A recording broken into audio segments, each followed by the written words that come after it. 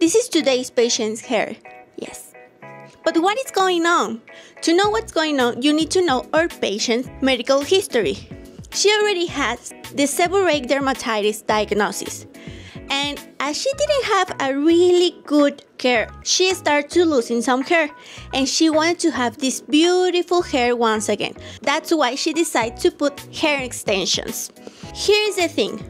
When you apply hair extension, you need to make some traction. So this traction in addition to her current disease propitiate the creation of microdilations and those get infected. So that's why she developed folliculitis. That is what we can see in this picture. All her scar is full of these papules.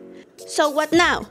First things first, she has to take out those hair extensions. And the second thing is the treatment that we are going to divide also in two parts. The first one is a topic one that is a shampoo with antibiotics, and the second one, systemic antibiotics that she will start taking. This is why every time that you have a patient with a dermatologic illness, you have to remember them that if they want to do something that is related to their skin or can be related to their pathology, they have to ask their dermatologist if they can do this process.